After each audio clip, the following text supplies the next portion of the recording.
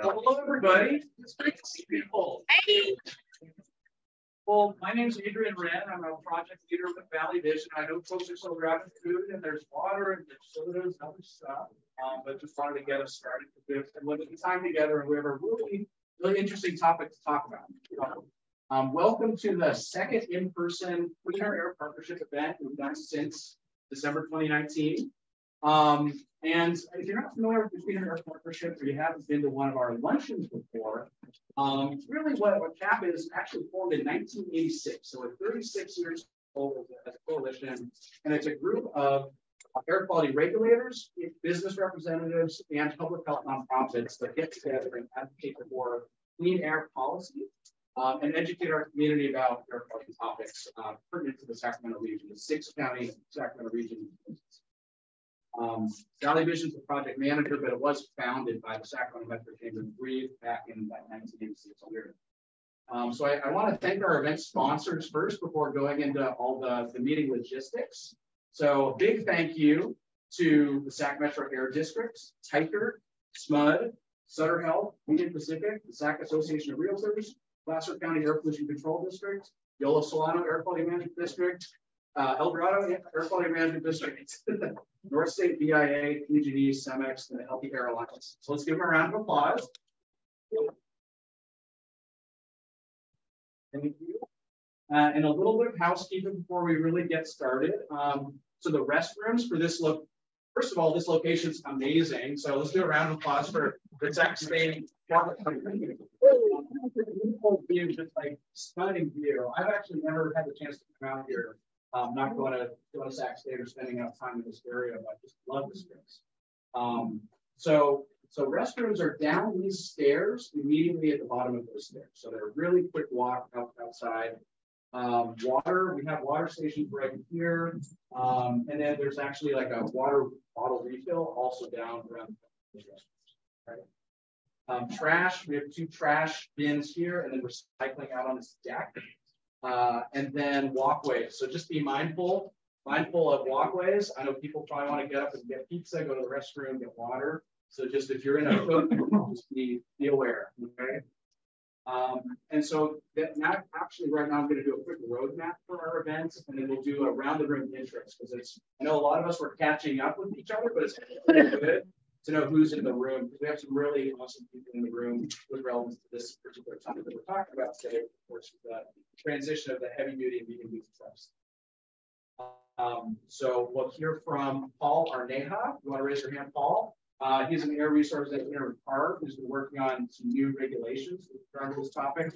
Um, we'll hear then via Zoom. Hey, Jen, you, you can grab some pizza and then um, then we'll hear from David Renschler, who's actually joining us uh, via uh, via the internet. And we actually have this uh, Owl uh, device that we're using to connect with him. And you'll see some really cool hybrid meeting uh, stuff in action. Um, and he is the fleet division manager for the city of Fairfield. He's also the chair of MEMA NorCal. MEMA stands for the Municipal Equipment Managers Association. So he has a really interesting perspective on this position. And then last but not least, we have Eric, Eric Cahill, um, who's a senior strategic planner at SMUD. He's going to be talking about some of the great work SMUD is doing in its service area to map some of the grid needs with regard to this transition. Really, really cool. And with that, I'm going to turn it over to intros. Um, so basically, I, I, think this room, we're not going to do a mic situation because we're all eating pizza. I think this room is small enough to where we can we can hear one another. So I'm actually going to start with Eric just want to share your name and your affiliation, we'll go to Gap and kind of do this. Let's, we already introduced Mr. Eric Cahill, Senior Strategic uh, Business Planner at SMUD. Hi, Paul Arneja, Air Resources Engineer, the General Against Rulemaking Part. Hi, everybody. Evan Schmidt, CEO of Vision. Um, hi, I'm Kristen Fortick. I'm with the Nikola Construction Corporation. What does Nikola do? Nikola does Short that's infrastructure, long haul, heavy duty trucks, so class A trucks in the battery electric and fuel cell electric space. We're watching our fuel cells, Q3. Cool. Uh, Ted Link Overstar, Transportation Policy Consultant with the California State um, Center for Research. Good afternoon, everyone. Sal Sine, Health Education Council. Program coordinator. I'm Dave Johnston, El Dorado Air Quality Center. All good. It's all good. Air quality that bad.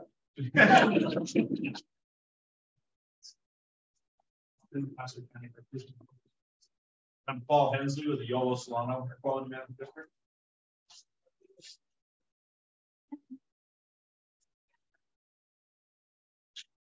I'm Jay Mondo, um, chair of the Yoga Council China Transportation, member of the Association for Climate. Uh, Mike Ishiba, I'm retired, I do it, go ahead. And years. Hi, Grace Cochran, Project Manager, Harvard. Ergo, I work for this, want to be center for thank you for coming. All right, we'll go to Cat Chair John Lane next. John Lane, Environmental Manager of Township. As you can imagine, we have quite a, quite a fleet of both medium and heavy duty trucks, so this is very important. And, and how did you get here today? Um, well, riding a bicycle would have been easy, but paddling, since I live in Old Folsom, I paddle door to door here. Nice. Gonna give that. Zero emission. Sam, Tim Taylor, Sacramento. City. I'm Sam Sheldon, Senior Analyst with the Sacramento Area Council of Governments. Uh, I'm Brandon Rose. I am the SMUD board president, and then in my day job, I'm an air pollution specialist. with FAR. Rachel Long, Director of Customer Strategy at SMART. Uh, Darren Ferguson, Senior Air Quality Climate Change Office Analyst at Zip Consulting. Renee John, Valley Vision Before Jim Alves, Economic Development for SMUD. Orville Thomas, State Policy Director for CASP. Bill Magavern, Policy Director, Coalition for Clean Air. Richard Falcone, Organizer for United Latinos. Jim Abbott, Senior, Senior Vice President, Strategic Initiatives for Sacramento. Ian Wire, MS Strategies. Becky Wood, retired. Well, Becky.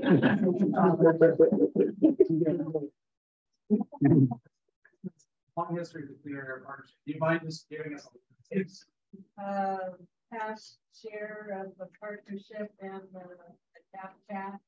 Uh, and CAP chapter already seen for too many years. Thanks for filling us in. Nick Armstrong, Technical Material. Ralph Propper and, uh, would you say it was eighty-six when we started? No, when, we- yeah, so, yeah, I was with the, uh, with with this group for the, uh, Green Fuels Task Force. grant. And Now I'm, uh, with the Environmental Council of Sacramento and uh, the Board of Youth California. Uh, Tom Jensen, uh, worked for Cemex on the uh, fleet management. Thanks for coming. And last but not least, Clean Air Partnership staff. Hi, everyone. Kathy C. Chu, Project Associate from Valley Vision. Kathy keeps all the trains running, or in this case, big rigs or heavy duty vehicles. So Kathy is essential. Thank you, Adrian. Um, Thank you, Kathy. So with that, uh, I'm going to transition actually to a PowerPoint presentation that our very first speaker, Paul, is going to be providing. So Paul, you can, you know, from anywhere you'd like in the room, give us uh, give us some some kind of a 101 on what this trans what's happening with the transition in the, the heavy duty sector, uh, and maybe what the state of California is doing. I think a good spot is like right there, so you can still see the slides and we could, yeah, right there. Thanks, everyone. And when you, uh, is this the first slide? Oh, there you go. Apologies. And, and just say next slide with human powered. So, So thanks everyone for the chance to and speak. So my name is Paul Arneja. I work with the Air Resources Board on our clean fuel regulation.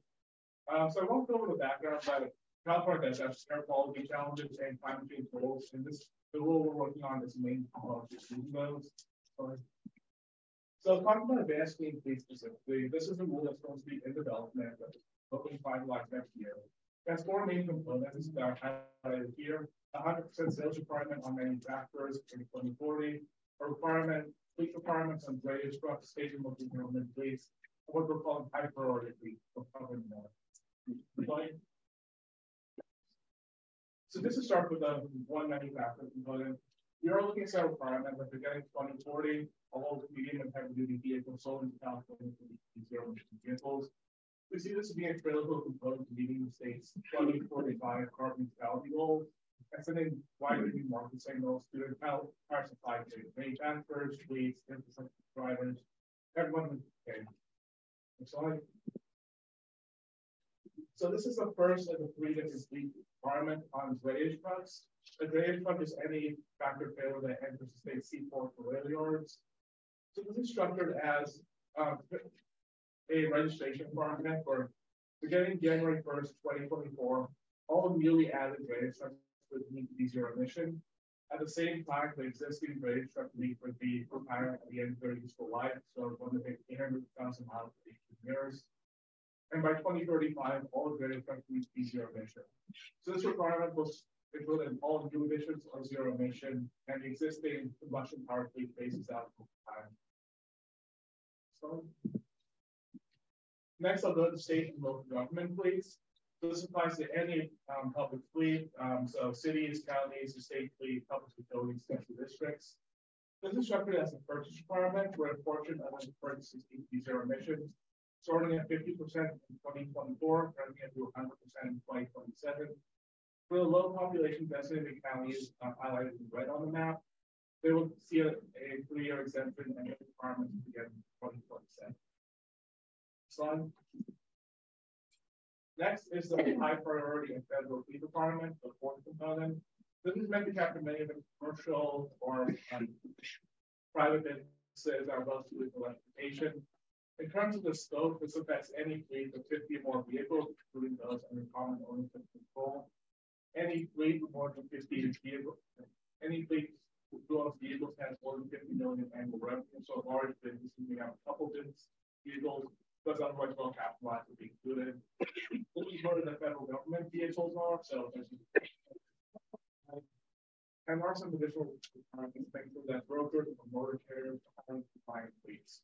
So again, this is covering all of the medium and heavy vehicles, off-road yard tractors, and some of the light duty vehicles. Slide. So for this high priority fleet environment, there's two um, pathways that you can choose to uh, opt into. The default pathway is a model year schedule, which is fairly similar to what we have for drayage trucks. Starting January 1st, 2024, all of the additions to the fleet need to be zero emission. For the existing combustion powered vehicles in the fleet, they would need to they can continue operating to the end of their useful life, at least which work they need to be complete. So this ensures that over time, as new vehicles zero emission and the combustion powered vehicles are retired, then the fleet transition to zero emissions. Next slide. So the second option available for high priority fleets is the seven milestone phasing. This is a fleet line percentage approach where the fleet would need to ensure that a certain portion of their vehicles zero emission the way this is structured is that more suitable vehicles have early timelines and less suitable vehicles have later timelines. So the first row, which represents the most suitable vehicles, box trucks and buses, vans, we need to have 10% of the fleet be zero emission in 2025, but get to 100% by 2035. For work trucks, we include um, some of the more uh, vocational vehicles, pickups, refuse trucks, utility trucks, and so on. Requirements are in 2027, running up to 100% in 2039. And for the most difficult categories, sleeper cab tractors and specialty vehicles, the first requirements are in 2030, ramping up to fully zero emission 2042. So this option has more flexibility and maybe in fact have vehicles beyond the supply. Next slide. So we have a number of exemptions built into the different components of the rules that are meant to capture situations where vehicles aren't available or what's available doesn't meet needs. So I'll go over a couple of these. We will be making, probably maintaining the list of what vehicles are and are not available, and we'll be keeping that on our website. If you need to purchase a vehicle and for listings are available, like our vehicles, if the vehicle or infrastructure are delayed outside of control, not because factor uh, significant delay. And there are a couple of other ways, but broadly, we're trying to make sure that if there are situations outside of police control that they'll still be able to carry on their operations. Slide. We are expecting a significant increase in medium income vehicles in California. Slide. And significant benefits, the health savings from avoiding people from mortalities and reduce air pollution. Cost benefits as we reduce um, zero emission vehicles are expected and particularly disadvantaged communities who are engaged with very acute. So in terms of next steps, we went to the board in late October and we are planning to have a second hearing next year to final adoption. Over the next couple of months, we'll be having a series of work groups. On December 12th, we have a lot of focus on waste fleets, subjective accidents, three, infrastructure and set on availability, and a capital workshop for all the changes. We intend to release changes early next year to uh, capture some of the board direction and to make modifications requested. And final vote is 2023 for adoption. So if you have any questions, feel free to reach out to me or get to the um, monitor email, email at 17 at the From the slides and for everyone. Thank you. Thank you. We appreciate it. So, so as, as you heard from Paul, a lot of regu forthcoming, forthcoming regulation and rules regarding this, this sector. Um, and understand that you know, CARB had a, a, recent hearing. There was, I think, over 150 commenters all from across various spectrums, and you guys are going to revisit that rule in spring or in the. We're going to be making some putting out some proposals. Well, first we'll have some workshop discuss what changes. We're going to be officially releasing qualified all that 50 page changes sometime early next year. We plan to come back to the board in spring of 2023 for final um, hearing the board will vote yes or no on. Great. Well, so our next our next speaker is David Renschler, uh, who's joining us on the OWL. So this is going to be a lot of fun because we're going to um, see David in, a, in momentarily. There he is. Um, I would just do stop sharing. And then uh, maybe pin David. And then uh, David, I think you maybe introduce yourself and kind of what you do with regard to this conversation and um, and some share some of your perspective. Well, good afternoon, everyone. Uh, for those that haven't seen me speak or, or don't know me, my name is David Renschler. I do run the, the fleet here at the city of Fairfield where uh, everything from sedans to construction equipment to uh, transit buses to police and fire and everything in between. So a little over uh, 700 units here. So we're kind of a small fleet. Um, uh, I am the uh, Government Fleet Magazine's uh, 2022 Public Sector Fleet Manager of the Year. Uh, so I've been doing a lot of these type of uh, events and, and doing a lot of speaking.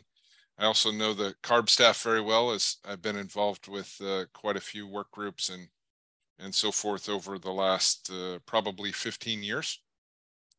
Uh, so Paul gave you a little bit of, of what's going on with the advanced clean fleet regulation.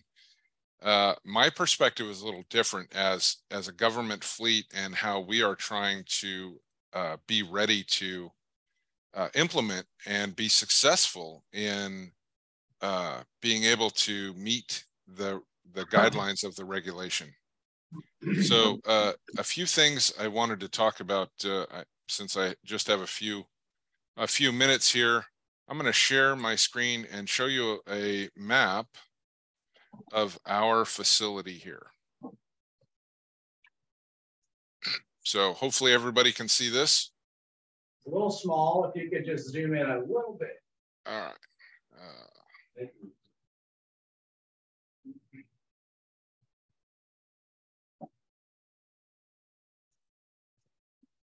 any better? Ah, keep going. there we go. There we go. How about here? Maybe one more. One more? All right. Good measure. Or is it just me? I'm just kidding. All right, go ahead.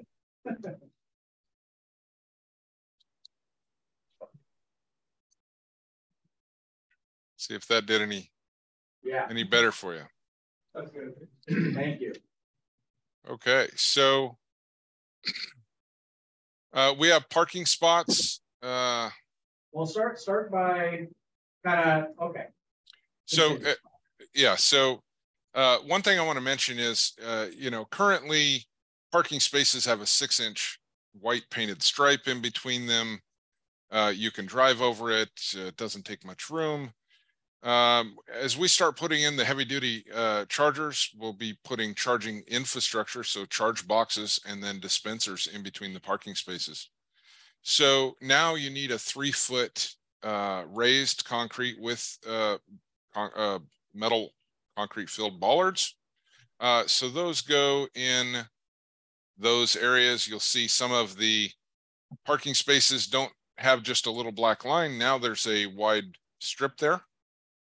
Uh, so you lose parking spaces, and when you're when you have a set area uh, and you aren't going to reduce your vehicle size or vehicle numbers, now you're losing parking spaces.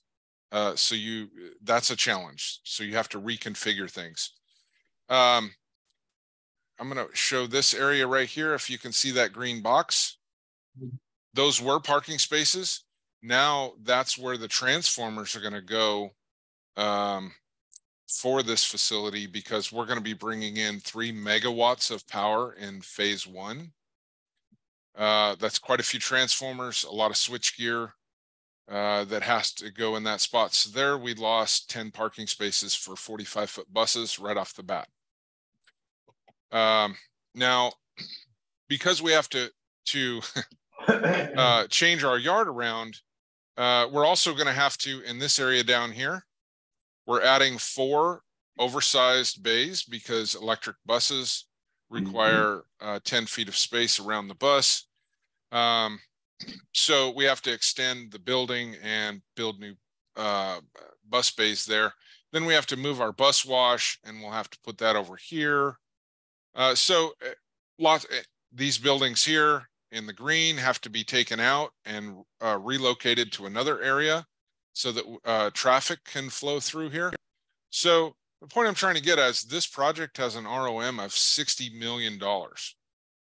Uh, and that is without uh, full build out of chargers. But that's what we're going to need to do to uh, uh, make this yard usable and be able to maintain and, and store and charge uh, our vehicles. And this is only one of our sites. So I just want to talk a little bit about uh, we had no money for this. Um, we applied and we were able to get a $12 million federal grant through the FTA uh, because of our transit buses. However, we don't know how we're going to pay for the rest. So I'm not sure if the electeds are going to have to, they'll have to come up with the money somewhere because the city doesn't have that kind of money. Um, and so, you know, these are real things. And uh, This goes into effect uh, potentially January 1st of 2024, where we have to start phasing things in. Uh, so we're in the first stage, we call it phase 1A, uh, meeting with uh, PG&E. Um, we're almost done with that now. We're getting ready to go into design phase. Uh, so we're going to be putting in um, 18 uh, 75 kilowatt charging ports for buses, along with uh, one uh, 124 kilowatt uh, DC fast charger dual port and four 19.2 chargers with two ports each. Uh, that's just to get us started uh, because we do have battery electric buses on order right now, and we already have uh, both on and off-road medium duty battery electric vehicles right now. So Where do we come up with the other $48 million? I'm not sure. I hope our elected officials can, uh, uh, can, can, find a way to uh, get that money.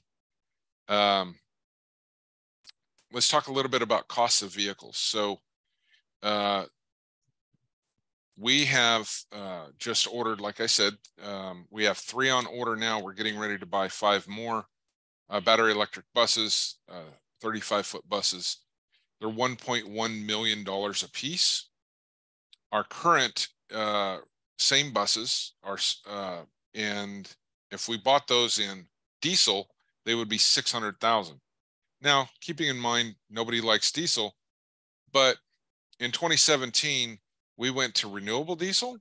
So everything in our fleet, whether it's on road, off road, transit, doesn't matter. It's all running on renewable diesel with an 80% greenhouse gas emission reduction. So the construction time on phase 1A, which is the nine uh, chargers with two ports each, so that's the 18 ports, uh, 41 months. And that's not including the 70 week delay that PG&E told us there is on the switchgear. Uh, so uh, we're not sure how we're going to charge the vehicles we're, that are on order right now that we're going to get in a year. Um, some we'll have to come up with some way to charge them because the infrastructure's just in the first phase is, is going to take four years. Uh, and as we start buying vehicles to meet the ACF regulation, we're not going to have a place to charge them. So these are challenges that we're going to, not just the city of Fairfield, every city and county in the state are going to have to face. And folks that haven't been uh, planning uh, like we have, we're three years into our project right now because you have to figure out what type of vehicles you have, how much you use them, what type of vehicles you can purchase in zero emission, and what's going to be available out there. So uh, this is really a big project. And then the last I want to talk about because it's a really big deal here in in uh, in our industry is mechanics and workforce development. Um, we have a shortage of mechanics now, and uh, for example, the battery electric buses, the minimum training we have for each technician that they're going to have to go through is 124 hours uh, per technician. So that's a lot of training um, and a lot of time out of the shop. And a lot of mechanics are not going to want to learn anything about these. I remember uh, as a young mechanic back in 1990, uh, the first fuel injected vehicles, electronic fuel injection, uh, OBD1, uh, were coming off a warranty. And I remember a lot of, uh, I, I, was new, me new mechanics. So, uh, but yes, a lot of them wanted to uh, not have anything to do with it. They wanted to uh, say, hey, I'm only working on carburetors. I don't want anything to do with those computers. Uh, and uh, young guys like me at the time, uh, I was really interested in it and said, yeah, I'll learn it. But it was about a 50 50 split, and we had a lot of folks start to retire at that time. We're already short on mechanics, so I'm not sure what that's going to do to our uh, technician workforce. Uh, however, I can tell you that the technicians we have, we have 14 here. Uh, they're not too happy about uh, having to learn uh, 800 volts AC, which is more than usual uh, industrial electricians deal with on buildings. So that's my perspective on the challenges of us trying to meet the regulation. I really appreciate that insight, David. You know, um, different than than our other speakers and, really, really valuable. And, and you know, trying to understand from a fleet manager perspective what you have to deal with during this transition. And if I can add one more thing real quick, we recently purchased a Solectrac battery electric tractor. Uh, it's a 25 horsepower uh, off-road tractor with a, a, front end loader. It's a great piece of machinery. Uh, however, it's it's kind of equivalent to a Kubota diesel front end loader uh, you would use around uh, small areas. Um, the diesel to purchase the diesel one this year would have cost us 16,000. Uh, the Solectrac was 38,000. However, Core has a great program that uh, gave us a rebate of, uh, we're in a disadvantaged community, so it gave us a $17,000 rebate. Uh, so we got that tractor for only $2,000 more than a diesel one would have been, which is a great deal. So look into those programs. Good tip, pro tip. Thank you so much. Um, so with that, we'll shift to our, our third and final speaker, and then we'll, you know, we want to open it up and have a conversation about all the things that being brought up today. Um, Eric, your slides should be up and you can uh, take it away. Great, we can go on to the next slide. Hi, everybody. Happy to be here. Um, I'm going to give you just a taste of, uh, of the major project that, uh, that I've been spearheading over this past year, which uh, was an energy commission grant. We won small amount of money, as you can see in the project overview there. It's only about $200,000. Uh, we're bringing in a good chunk of cost match with SMUD. We signed this and uh, we was partnered with several others uh, you know, in the region as well. The duration is 18 months, running from October 1 of last year. It wraps up uh, at the end of March, but really, we are submitting the final blueprint in a week and the final report in two weeks. And really what the intent of this grant was about was essentially answer the question, what kind of infrastructure? And that's a broad term. It's not just charging infrastructure, but also, um, as, uh, as the commissioner mentioned, it's also workforce development, know, skills, uh, labor, skilled labor pipeline as well. Um, to support the growing market for zero emission vehicles in Sacramento and uh, Sacramento County and West Sacramento. So this was originally scoped for just uh, our territory, and when this uh, this opportunity came available, we were approached by AQMD to expand that scope to include zero emission for the fuel cell vehicles and as well as West Side. And the goal here is really, uh, four directives we had from the Energy Commission was to inventory, basically take a census of the medium and heavy duty fleets that we have in the region and identify the home base locations of the what we anticipate to be some of the most grid impactful fleets in Sacramento County and West Sac. Uh, secondly, to identify optimal siting for depot charging, shared or public, medium, and heavy duty charging, as well as hydrogen stations.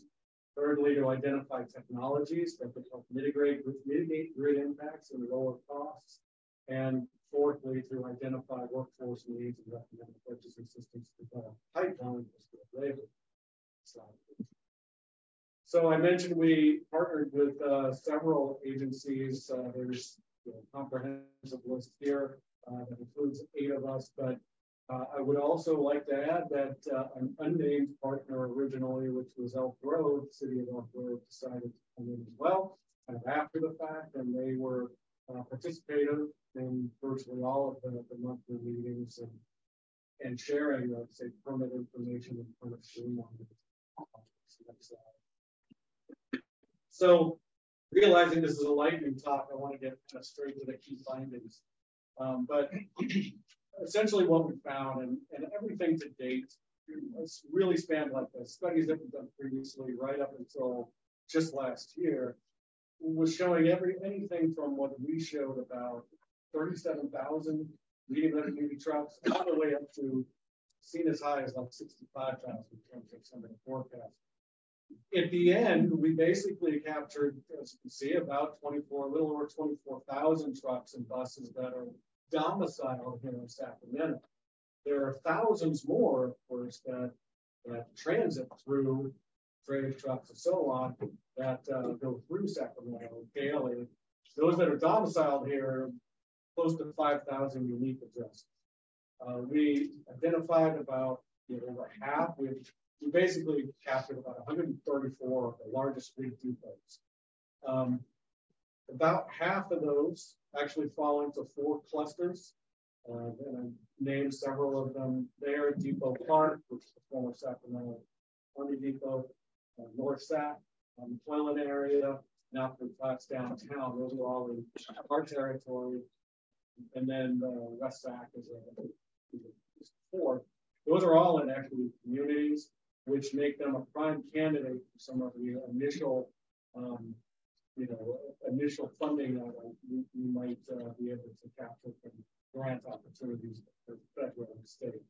Um, we estimate SMUD, um, I should mention PG&E was not a partner in this. And West Sac, of course, lies in, in PG&E's territory, so we're limited in that capacity. But we estimate that we could meet most of the fleet customer charging needs with existing infrastructure and resources um, through 2030. with limited capacity in West Sac. Basically, what we did was we, we brought on a, a research, a third-party vendor to do the analysis that PG&E otherwise would have done. And we found that there looks like there's going to be some significant constraints. There's a lot of fleets, obviously, in West Sac. It's a big center of gravity. And basically, further studies needed. We as SMUD are not about to go, you know, um, say, speaking for PG&E, let's put it that way. So we just basically leave it at that. And we know that Sam over at SACOG is about to embark on the kick off the, the mega region, the Sacramento and broader mega region, like that, and the mega region grant, which is following on the heels of our grant, hopefully we'll fill. We also uh, found that nearly all large uh, truck and bus fleets have a dedicated uh, fleet uh, fuel depot, and they expect to add charging in the near term and hydrogen refueling in the longer term. Dispensing. Even though we definitely heard with regard to hydrogen dispensing, there's more of a uh, uh, an expectation that that would be they would be leveraging more public sites than they would uh, behind the fence. Uh, many smaller fleets and owner operators rely on public shared stations, and about a third of the population of these uh, trucks uh, belong to independent owner operators. Uh, so that is a particular area. While they don't necessarily fall under the requirements of advanced clean fleets, for example, and therefore we expect them to be kind of more on the, the late market laggards to really come in. We nevertheless need to be thinking about how we're going to address those vehicles as well, since they will not have the capital that uh, some of these larger, medium-sized fleets will. And therefore, those are the ones we expect to electrify. And then there's no depot fleets that we call, right? They have no access to uh, overnight charging and a lot of these, of course, are individual operators. And one of the uh, things we learned from surveys and interviews with fleets was that they would really desire um, the, the ability to, to charge, fast charge while loading and unloading at the facility. So that facility may be owned by some, it's likely owned by somebody else. And of course, those facilities don't want to have to be paying for those fleets. So we have to figure out a way to solve that problem. So we've got that identified. Um, we also, on the workforce front, found that we'll need about 1,200 skilled uh, workers to uh, fulfill the medium and heavy duty ZEV needs by 2027. Um, that's amongst about 3,000 uh, if you include light duty. And then interactive job training and a community support system is going to be key for recruitment and retention.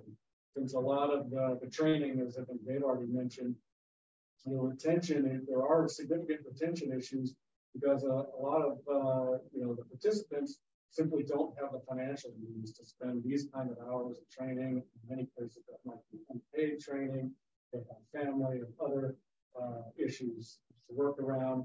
And having a community support system is, is key to go to the next slide. Um, so we've uh, developed some kind of draft recommended actions. We're circulating some of these internally and of course amongst our partners and collecting uh, all of that feedback. But the first thing we want to do is we want to support early adopter fleets. SMUD uh, launched a new program, really two new programs, but they fall under the e-fuel, uh, SMUD e-fuel monitor. Uh, so we have a SMUD e-fuel advisor program, which basically provides free advisory services to fleets of all shapes and sizes. And that enables those fleets to not only learn about hey, what, what, what's the policy, but what compliance requirements, educate uh, all of that, but also can help fleets determine which vehicles best match their duty cycles uh, from more of a unbiased, uh, you know, kind of brokerage standpoint and uh, trusted broker standpoint, as well as what kind of charging solutions.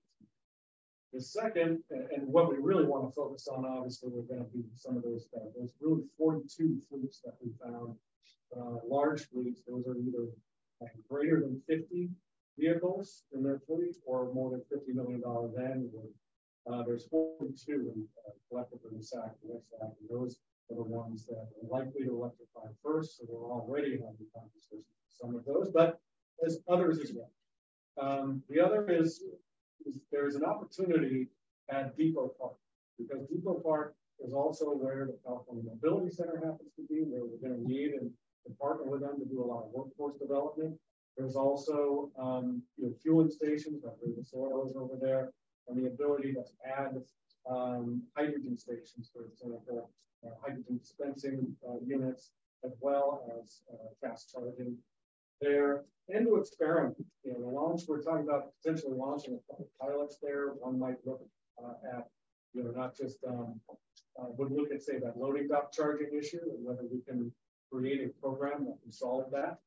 Uh, another is the is, is launching a, a V2V or transactive energy, where we please can participate in energy markets um, through, you know, basically um, and selling electricity.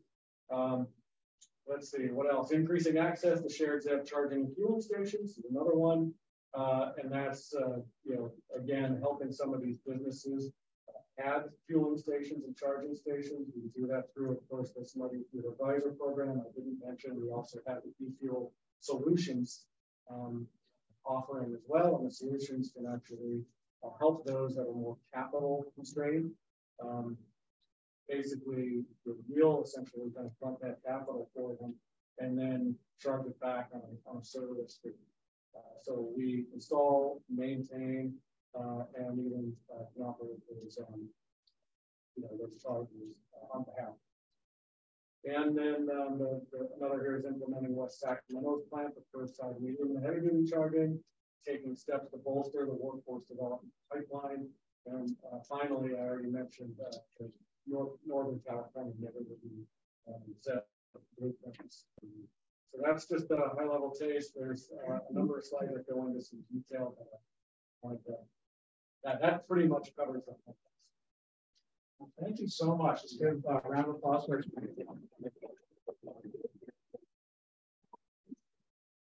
And Sam, I know you were you were mentioned as working on that mega regional effort to do, I guess, kind of a larger geographic look at. Uh, do you want to give us any uh, perspective on how that's going?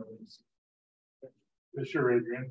Uh, last year, SACOG applied for half million dollars to study interregional rate charging and refueling between Bay Area, San Joaquin County uh, Council of Governments, and SACOG. So a mega regional study to understand uh, where we need the truck refueling charging stations. Uh, we received that grant last summer. We're wrapping up an RFP process uh, this week. So we're hoping, hopefully we can kick off with a selected consultant on the contract early next year. Really get that. It's a timely conversation, and I, I just saw, uh, I think early this morning, the first deliveries of the Tesla semi truck were made yesterday evening to Pepsi. So uh, a lot of stuff happening in the space right now. Um, and so I was really hoping we could have a conversation about about this transition. We have a lot of really smart people in the room working on this. We have from all perspectives, from the government, from industry, from the nonprofit sector, all the kind of the, the tenets of the partnership. And I'm curious if folks have either questions for our speakers, and I think David did have to, have to leave at 12:45. So our two remaining speakers, or other they'd like to hold.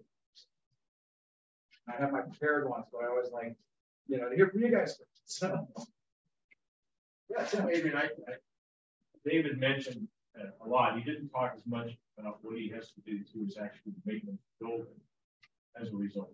It was part of the $60 million that has to be spent before he can actually put really a surface just to get the site. There's a lot of work he has to do So, like we mentioned, wider bay because of the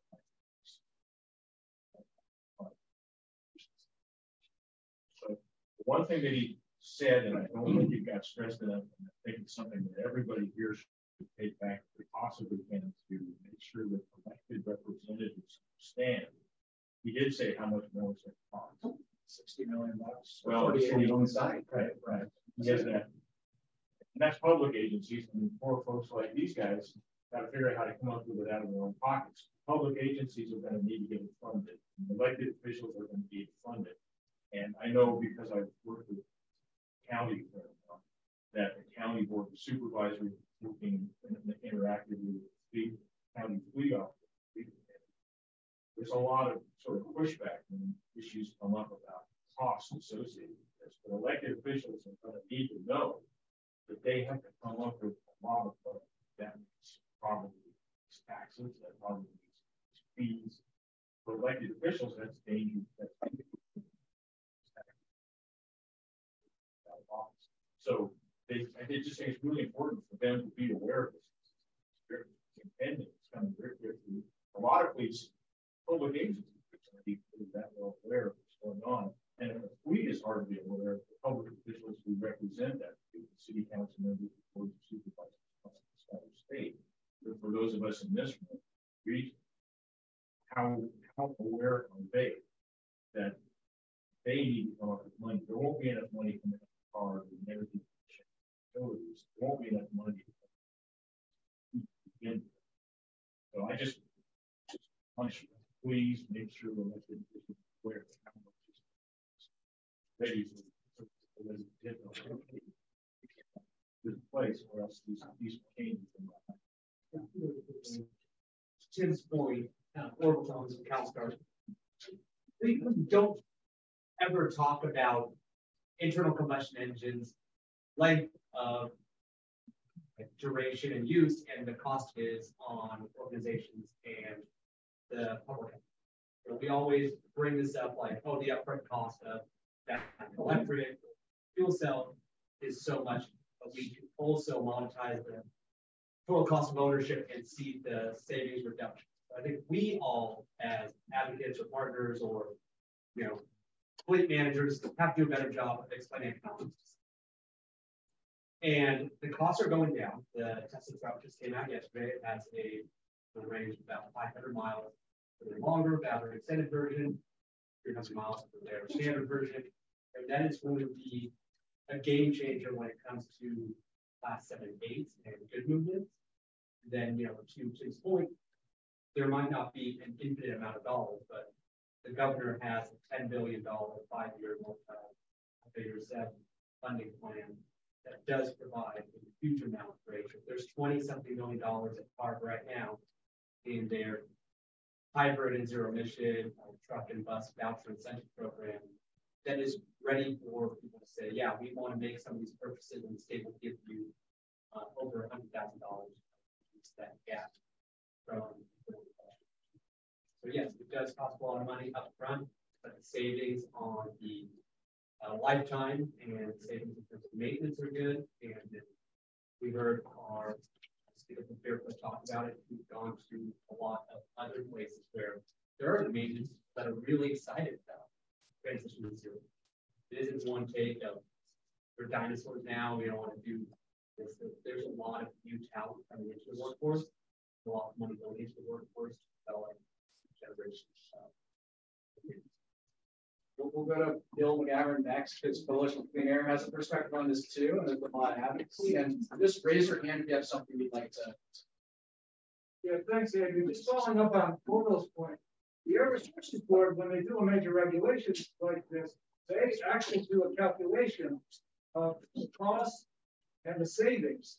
And um, Paul probably has these numbers in his head. I remember that for advanced clean fleets, the, the cost savings far outweigh the actual costs. Um, and that's something that, you know, it's important. We look at it. I know the board members look at it when they're discussing the regulation. Paul, do you have numbers? Yeah, with advanced clean fleets, we have to the regulatory requirements of 2050, we are asking net savings of 22 billion. Costs are going to be higher on the yours is all the vehicles but over the vehicles we do expect skipping. We see this as this cost to buy. So the state has a number of programs that can help out. Um, there are funding programs available. The state has a market fuel standard program that lowers the cost of fuel like electricity hydrogen. So there are programs that basically lower the cost. So we do expect to see a savings, but we recognize also that there is upfront extra cost to be upfront. That's did you guys estimate though for like that seemed pretty substantial for one facility 60 million dollars? Like i i can't imagine that that is what people are, are expecting to pay who haven't been doing three years of research uh, such as fairfield i think what we kind of recognize that each facility is different in terms of the upgrades and the I mean, but some sites do have a lot more um, expensive, some less, and that's something that people are moving for trying to figure out what it's going to be. We take a look at our own, the projects that we've been funding over the past couple of years, to see what the cost has been and the the have based on that, not our methodology, but really at the site specific these costs. Now, I just wanted to give another perspective because I definitely appreciate the perspective of the long-term costs and our, and, and as you mentioned, our mechanics are certainly look forward to the, the, the less amount of maintenance and the overall use of those vehicles, but the upfront cost is not insubstantial for business. I mean, the reality is you have to gain access to that capital that long term will pay off. But this is across the state of California with small, medium, and larger fleets. So that is not an insubstantial issue. What caught my eye or caught my ear really was the timelines, which certainly the cost is one thing, but another is like the infrastructure costs timelines that that the city of Fairfield was mentioning. It's pretty significant in that you know they've been working on it for three years, and, and there are some that haven't even started yet. So that is going to be a challenge. And, and, then the question I had for you, Eric, was which is always kind of bounced around in our mind is that the projection was is that there's enough SMUD has enough power to support the demands of this, but there's also the off-road, and then there are all the other uh, push for electricity, which is really changing the structure of demand it, when you say there's enough power, is that capture everything or is that just really? I was focused on medium and heavy duty. Yes. So we're working on adding additional layers to this. Right. Absolutely. Not going to be a cost. What this did was really kick off kind of the first pass, which initially for us was kind of the worst case. Right. No managed product engine, plug in immediately, during our system peak. So that's how we kind of stress test this medium height and determine you what are what are our limits here, even though there's virtually zero electrons But when we factor in much more likely scenarios involved with for example, it gets it gets a lot more than Doesn't mean that we're we're not going to have a work cut out for us. We do, and we're already uh, knee deep and, working internally through that. But you know, at least what this tells us is that we can support it, and we now have an idea of where to focus in these near-term implementations to help us kind of phase into this in a strategic way and try to manage costs for not just but everyone. Two more than Amanda. Amanda, I, it would be my second time. Uh, and just really quick is that the one thing that I always see with these discussions that slightly concerns me is that in this map, it also shows plasma product.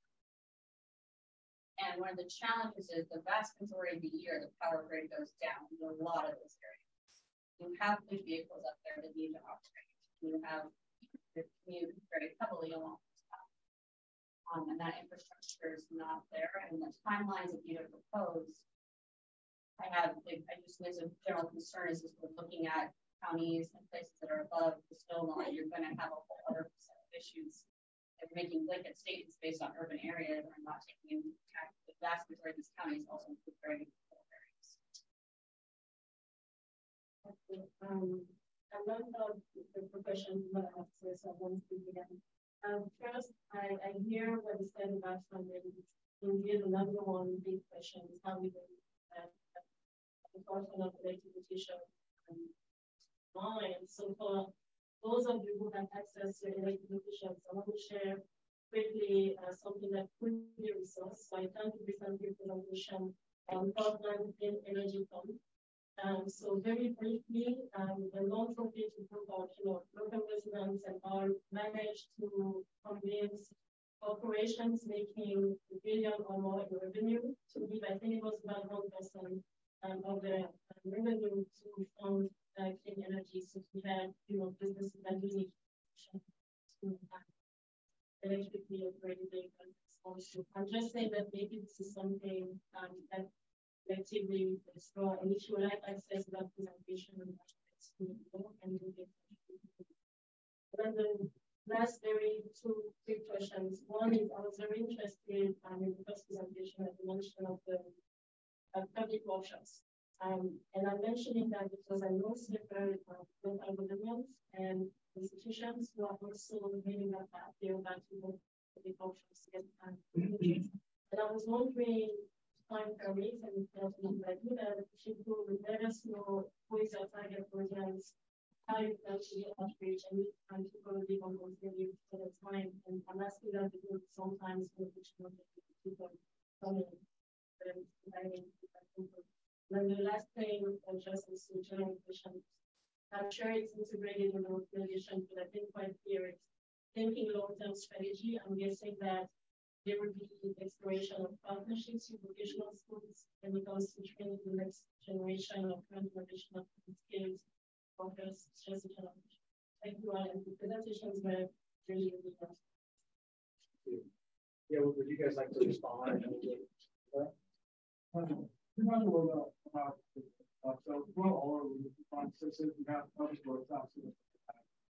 We're feedback, we're sharing with birds, trying to achieve our regulations, develop a rule that can probably on reality and getting feedback from the stakeholders. In terms of um, so during the rulemaking process, we had 24 workshops with planning to have more focus on some of the we can focus on stuff kind of narrow areas of the rule that feedback on. So um, waste hauler fleets, that unavailability infrastructure. So those are the three we're planning. They're all open to the public in a hybrid format we're planning, so in person and online. Um, so in terms of any outreach, we are trying to expand our general outreach, informing people about what's happening with the world on best social One, we've got to get the outreach right right now, but yeah, we want to make sure that communities are aware of what's happening and what needs are. So we can some more outreach events as we're trying to expand those to get everyone aware of what's being very what's being finalized. Thank you. Uh, we've got a horrible and and let's have this question. You know, Placer in El Dorado County will likely fall heavily under the exemptions for either infrastructure or maintenance or model vehicles available. And like a low population participating county will slow some of that down. But in addition to what is going to happen, you know, the federal government is now giving out money for the United States EV infrastructure plan. California over the next five years is going to almost $400 million develop a system of decent fast charging, mostly for light duty, that should have every 50 miles. Uh, we're really pushing on Caltrans and others are, and the Energy Commission to incorporate heavy duty funding into that, and not just be blind to like that in our movement network. So hopefully years two, three, four, five, we'll have some you know, funding dedicated for medium and heavy duty. Uh, in addition to what we talked about today, Hamilton CARB is doing generously with you know grant programs and C is the Inflation Reduction Act provides a huge amount of money for fleets that are looking to transition. So commercial fleets that are you know, class one to two B will get $7,500 for each zero emission vehicle if they want to transition over. And that doesn't have the heavy domestic requirements that the uh, personal use light duty does. And then class three and up will have a cap of $40,000 for every vehicle you want to buy. And that doesn't take into account the like excise tax and bring legislation to take that on part of the question. But there's a lot of work going on at the federal level to bring that initial cost down. And have said they see the parity coming within this decade. So yeah, we have to plan ahead. It's going to be a little bit of a bite front, but you should see more towards the latter part of these years. Um, it being more cost beneficial to plan in accordance for zero. You know, resources that like break down exactly. Yeah, I, I'll, I think that's a slideshow. Cool. I can, I could see, you know, the Metro Chamber sharing with its members, you know, so there's more awareness of how, about some of these. Um, yeah, um, I just wanted to, I'm Kristen Porter again with Nikola, so I just wanted to provide you a little bit of the industry side perspective from this. Um, so we are a Class 8 vehicle manufacturer based in Phoenix. Um, and thank you, Adrian, for the invite to this presentation. Um, but we are also a vertically integrated company. So we're working on the infrastructure side as well as the vehicle um, production side. Um, a couple of the different things that each of you have touched on, all touched on from our different perspective. One of them being the upfront cost. The upfront cost that we see is very, very heavy for smaller fleet operators.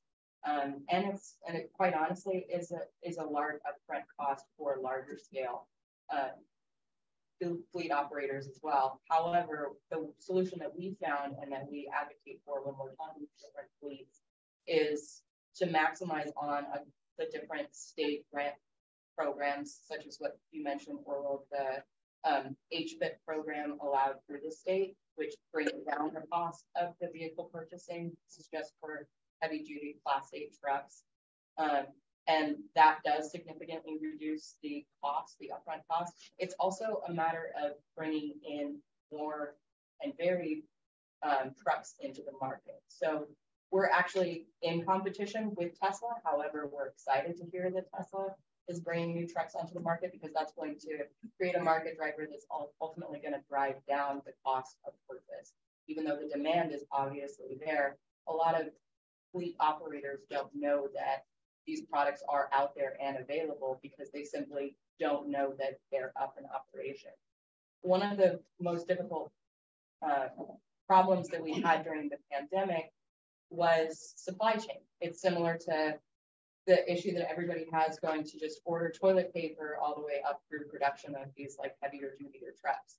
Um, so supply chain for us at our manufacturing facility was um, not as much of a concern on our BEV side. It is on the fuel cell electric side.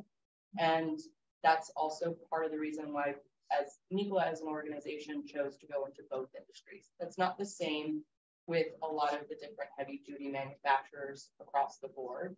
Uh, one will either, typically they'll choose to either go into the battery electric side or the hydrogen side, but not necessarily both. Um, the drawbacks of going into one are, you know, the battery and the energy upfront costs are significant. Um, the other side of it is that fuel cell and fuel cell infrastructure needs a lot more in order to be developed to get further down the road.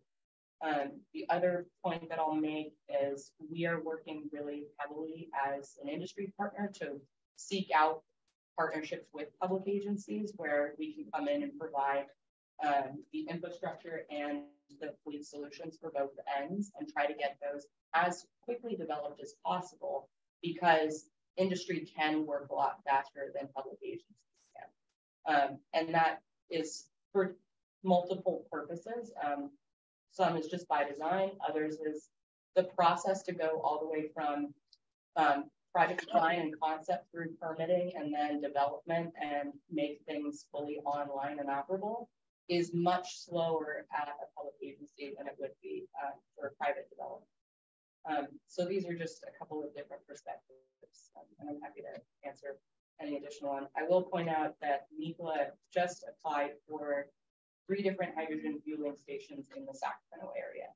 So um, where are they?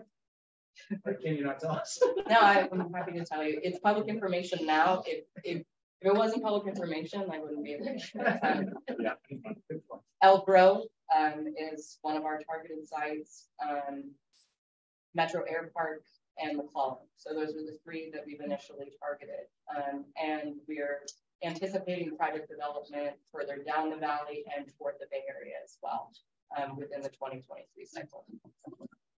One, uh, question I have is related to what feds can help us with. And of course, we have the Metro Chamber with us, and they manage their for over 50 years. They've been doing their capital capital apps program that the Clean Air Partnership actually staffs uh, air quality team. Um, and so I'm thinking about, you know, we have Roberto with Senator Padilla's office maybe you know or have some insight into like what it's, you know, we, have talked a lot about state. So what can we expect kind of, you know, from the federal? Definitely. And hi again, uh, my name is. Senator Padilla. And well, as, as it was mentioned a few minutes ago, there's a lot of funding that is going to be available soon in the Inflation Reduction Act uh, that we're looking as early as 2023 And we don't have the details on that. I was actually just taking note. We've had uh, other agencies in the past do workshops for all the different grants that they're going to have available throughout the year with deadlines and everything. And how what are the factors they're going to need to apply? So I'm going to talk to my team in DC, see if we can organize one of those for California. We know if you want. I'm, I'm the Northern California field rep. I represent Sacramento, so I want to it in Sacramento. But you know, this should be, you know, this is going to be very helpful. Um, something that I that I like to do is uh, hopefully I can get everyone's everyone's information here. I always talk to you through email. So as these grants are you know they, they become available, I can send you all you know, the information for you if want to apply. That'd be great. And once you apply to those grants, uh, you can also reach out to our office for um, letters of support. I know we've done that in the past, but you all. Um, uh, so it's a, you know that, that's one of the biggest things that we do. So I used be there to back you up and provide you information. Uh, a lot of times it is agencies who make the decision of to get the funding. Uh, but if we can provide the information that the support we, we want to do that. And I did have a question that I don't think we, we talked about, and I wanted to ask Dave about that. Um, but is, as far as all this equipment that is going to be retired, is there is there a program to put this aside, or you know, are there already plans and where this allocated? I'm just you know curious, and maybe this is a silly question, uh, but I, am not very sure. Does anybody know? Sounds good, depending on grade, but as a scrappage requirement, sometimes we've seen in the past that 20, 30 year old vehicle that is going to Central America, South America, we have to like finish our national and, and state regulations. Uh, so it depends a lot on what the programs are. Federal level, the state level, they will have different scrappage requirements. The school bus industry, you know, CARB's grants don't require scrappage, but the energy commission's grants do. And then if you're going to get a federal EPA grant, those are going to require scrappage. We've tried to figure out if there's opportunity to kind of allow for a use of that same equipment to get the grant to transition, but still have that vehicle in your fleet. So if you're in a more rural area, then it would be utilized in the right. So there's still a conversation. I'll add to that, the, uh, one of the items we was some of these smaller fleets, uh, you know, they, they purchase used vehicles, right? They're not purchasers of new trucks. They're purchasing used second in the secondary market and I don't, you know, we don't yet know how to solve that problem because that's where some of these larger fleets are going to be offloading their, their vehicles. Um, so how are we going to address that issue? I can add that transit rulemaking, like CARB as an agency has committed to a future effort uh, for the emission budget which will aim to figure out what to with the rest of these heavy duty vehicles that aren't residential fleets so on the smaller side. Looking at different strategies to achieve this as there are different ways we could do this, uh, different registration fees, green zones, direct sports rules, different ways other than just straight regulation that would allow for potentially lower cost and more flexible So that's the broader strategy we're going to work on after next week. Well, we have time for maybe one more from someone who hasn't spoken yet. Actually, we'll do two because we'll do two and we do Richard first and then our honorary staff. Steve. Thank you. Richard Paul Coleman, It's been an interesting discussion, a lot of um, interesting information that um, I hope we get some slide decks to take the information back, at least for the community that I that Pinos worked for specifically. But to the point, I want to stress Let's not forget that workforce development piece of it. United Latinos and a few other um, partners within the Latino community here in the Sacramento region have already reached out about the opportunities for workforce development. And there are so many barriers to that that we need to overcome.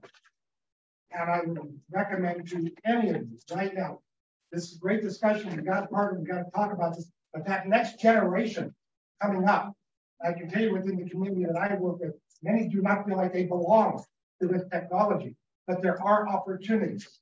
We have to make sure we are being intentional in our outreach, in our development, and in the way that we bring forward possibilities not just for this type of workforce development, but green tech in general.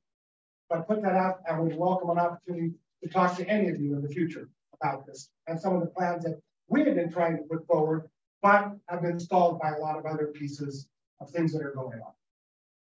Yeah, the California Mobility Center that we worked with and the partner on the project, we submitted a report, say, probably a month or two ago, that really lays out a lot of the, the detail findings, um, and it's spotlights, and highlights some of the issues and barriers that we mentioned, as well as a framework for, um, how to contend with things that might be adopted. I, I have, I have seen it. I'm really excited about what's going on, but it's interesting again, how many we don't know about our mobility centers. We gotta get those words out. We gotta figure out grassroots ways to get to the communities and say, hey, this is for you. Make them a part of it, because that's what will help make it successful. Let me know how I can help her. Okay, um, you're speaking about flexibility. I'm, I'm especially concerned about flexibility when it comes to trucks with perishable products. Um, especially ready mix trucks. Because you have a battery go out and now you have. So any, any thoughts on flexibility for trucks with perishable products? For me. Or, or, or. Yeah, so the flexibility with the trucks, there's a couple of different solutions that we looked at. Um, you know, we support mobile fueling stations. So we, when we sell different um, vehicles in our operation to fleets, we also provide mobile fueling stations as a solution to that. Um, and the thought process behind that is the the class eight that we're selling right now in the BEV space is intended to be a day use only. It's not intended to be an overnight cab. And with the support of knowing that those trucks can only go 350 miles, which is the full life cycle of the truck. Um, if they can only go within 350 miles and then they have a mobile fueling source that can be provided as part of that sale in a bundled lease, um, if there is downtime, that would be the solution to be able to go in, regenerate the truck, uh, with the hope that in that time period, um, which would be a, a couple of hours, so to speak, to be able to swap out a vehicle if needed, um, that the potential for perishables to be completely gone or products to be completely gone, that solution would be cut down more significantly. It also depends on the type of truck itself. Um, the truck that we sell has a 93% uptime. Um, for the market, which means that downtime is only 7%. So that's the that's a 7% window of a chance for that those types of vehicles in operation to be broken down for whatever purpose. Um, like CALSTART was saying earlier, um, the technology and the breakdown is significantly less in the battery electric than it has been that we've seen in the diesel markets. So um, it really comes down to the type of vehicle that's being purchased um, and the solution that is accompanied with that. On the fuel cell side, it's the same thing. So the fuel cell that we are in the process of gamma testing right now, which will come onto the market um, in 2023, also has an over 90% uptime. We have two different um, operators that we've been working with to pilot both of these programs. One of them is Anheuser-Busch in Southern California, the other one um, was out of the Port of Los Angeles, and both of them said that um, so far, and I'm happy to release the study on both of those. Um, the downtime and the potential for downtime for both of those um, was significantly decreased as opposed to the diesel function of the larger heavy duty trucks. So we're almost out of time, but I know several of us are working on really cool stuff, and I wanted to give some opportunities for a few folks to kind of share some upcoming things. Um, starting with Kim. Um, so this cap to cap thing came up in this meeting. Um, what is it, and how can folks get involved with it? Yeah, it's not a very big effort.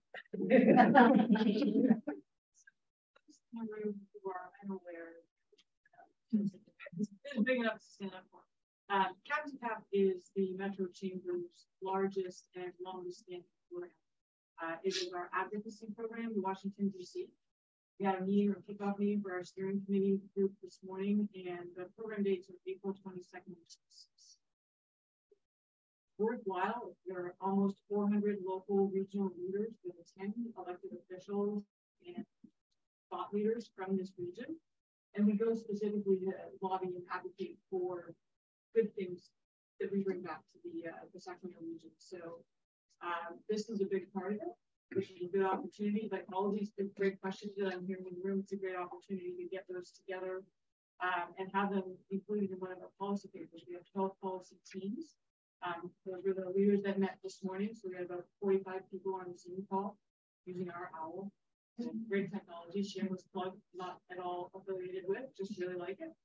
Um, but yeah, it's definitely worthwhile. And these are exactly the kinds of things, kinds of discussions that lead to thoughtful changes to uh, to topics just like this. Yeah, so the theater partnership staff, the air quality team, there's also the workforce team, there's all sorts of other really impactful teams that go to this program. We'll be sharing information about how you can get involved uh, it does have a cost, but it's well worth it for our region. I wonder if I can just have Clean Cities Coalition Program as a national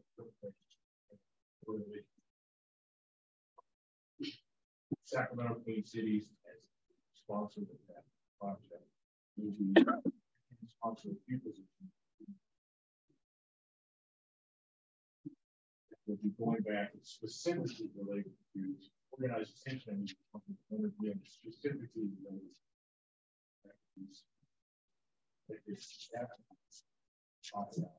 about transportation. That's going to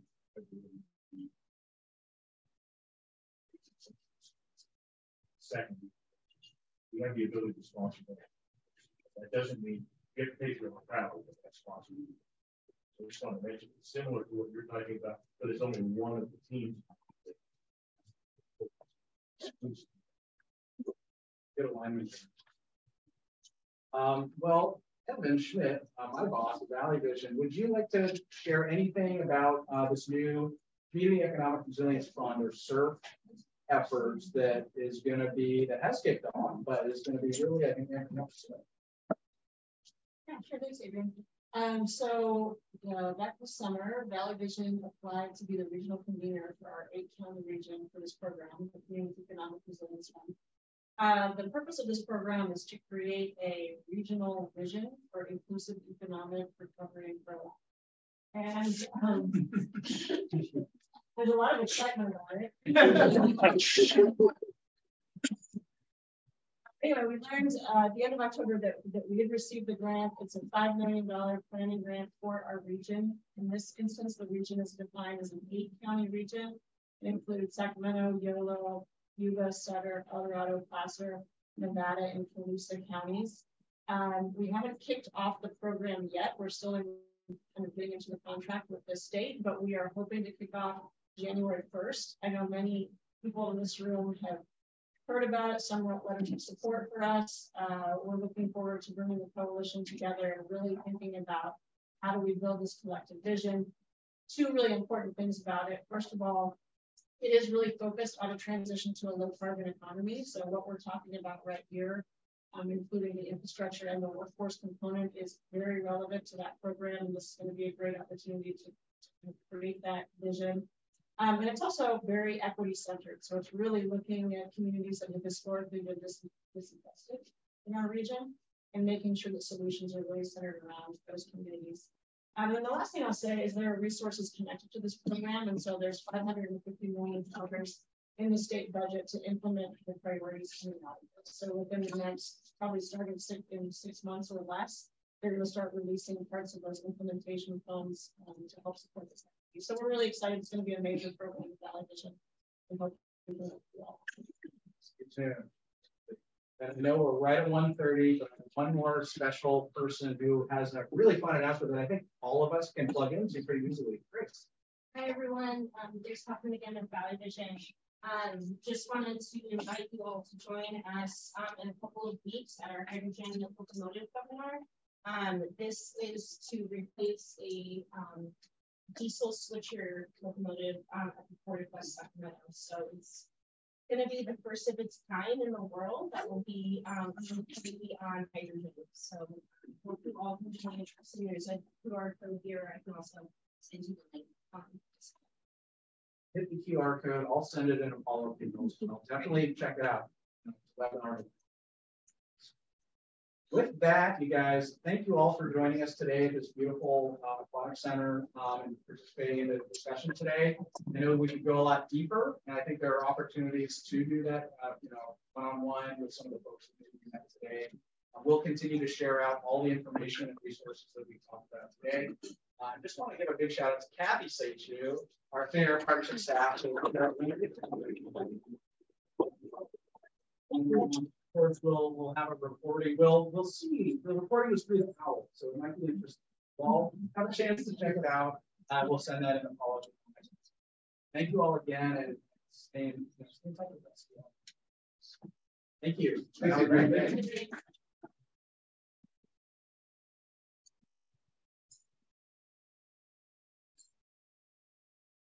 Grab some pizza if you want.